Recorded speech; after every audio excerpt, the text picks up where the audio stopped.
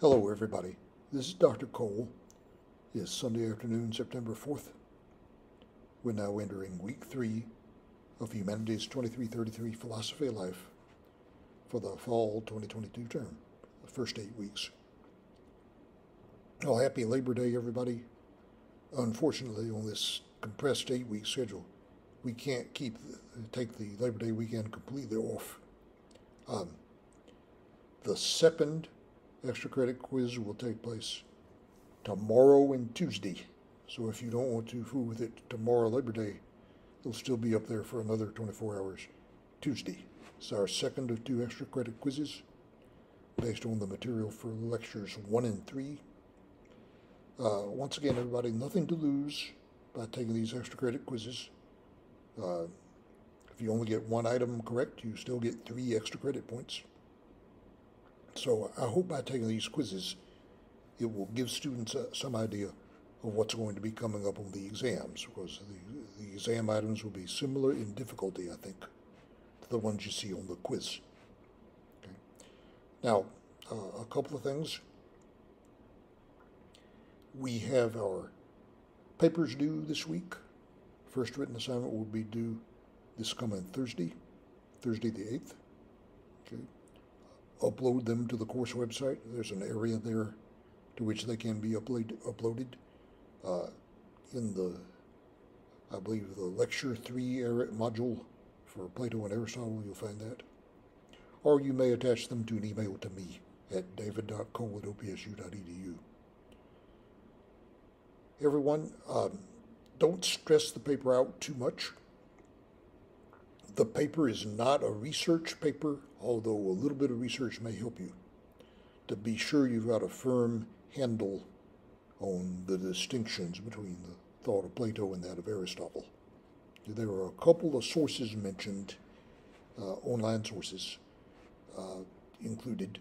There's some sources you may find in the library, but there are also online uh, resources that would help you with this that might be helpful for you to take a look at over and above what's in my class notes and what's in the textbook to be sure you have a firm grasp on this. Okay. Uh, anything that you draw upon, you might want to cite, although on the whole, by and large, what this assignment is asking to you is asking you to do is to think about how you see the world. And is your view of the world closer to that of Plato or that of Aristotle?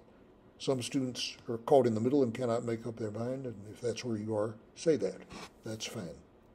Okay, but the main point of the paper is for you to discuss your own views of how you see the world. And do you think that's closer to the views of Plato or, or that of Aristotle? Okay, now, um, rest assured, this is new material for just about all my students, but I've gotten strong papers uh, for this assignment. So just say what you think, and beyond that, try not to worry about it too much. And that'll be due by Thursday, and we'll try to get it graded in the few days after that. Um, I probably won't be able to get them graded all at once. I may be into the following week grading them. So if you need more time, contact me. But the official due date is Thursday.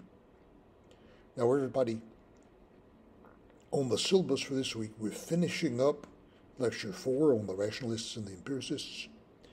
Then we're moving on to the class notes for Lecture 5 on uh, mind and body, including free will and determinism. And then finally, we include the class notes for Lecture 6 on artificial intelligence, for which there is no textbook assignment. Now, everybody, let, let me just say this. There's an important distinction in Lecture 5 that students often get confused about, and they miss the distinction. Because Lecture 5 includes philosophy of mind, you might say, the relationship between mind and body, and that has implications for the issue of free will and determinism. Okay, now look very carefully at what the notes say, and your textbook as well, about free will and determinism. There's at least three positions you could take on the issue of free will and determinism. If you're a libertarian on the issue, that doesn't mean exactly the same thing as libertarianism as a political philosophy. In this context, it simply means you believe there is free will. Okay? Human beings do have free will. Okay? But if you don't believe in free will, then there's two alternatives you can take. The opposite of free will or libertarianism is determinism. That what we encounter in the world, our experiences, our makeup, our physical uh, attributes, determine our behavior. That's got implications, of course, for the criminal justice system, because it suggests, it calls into question the legitimacy of, of uh, punishing people if what they do is determined. Okay, so the opposite of being a libertarian is a hard determinist, in, you, in which case you believe that our behavior is absolutely determined. Now, there's another version of determinism, sometimes called soft determinism. And in the video clips I'll be sending out, I don't believe that is going out yet, but I'll send you a link to that Crash Course Philosophy series. Uh, they have, I, I believe, a couple of clips about the free will and determinism issue. And one of the positions they mention, they call it compatibilism.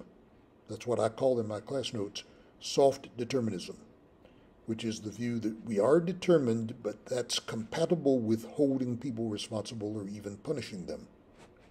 Okay, which could pose a problem, I suppose, if you believe that human behavior is absolutely determined. So be sure to keep clear in your mind the distinction between hard determinism and, on the other hand, soft determinism or compatibilism. Remember, both of those positions are determinist. Each one is as determinist as the other, but there's a difference about whether we are entitled to hold people responsible and even possibly punish them. Okay? All right, beyond that, everybody, our midterm exam is Monday the 19th. Not this week, but next week, I'll probably be running another discussion. This will be our second discussion. This one will be graded, whereas the first one was ungraded. I think the subject matter may be artificial intelligence. So be sure and take a look uh, as you have time. Those in, in those notes for lecture six, the class notes for lecture six on artificial intelligence, which uh, may be a topic topic of, of, interest to those of you majoring in computer information systems. It's been an object of tremendous interest in recent decades in the discipline of philosophy, artificial intelligence. So take a look at that material and see what you think. All right. So, extra credit quiz this week, paper due on Thursday, and possibly a discussion. Well, actually, I'm fairly sure there will be a discussion next week that will be graded before the midterm exam on Monday the 19th. So, uh, if I can be of any assistance on those papers, if you need more time on the paper, please contact me. The formal due date is Thursday, although it may take us a few days to get them all graded.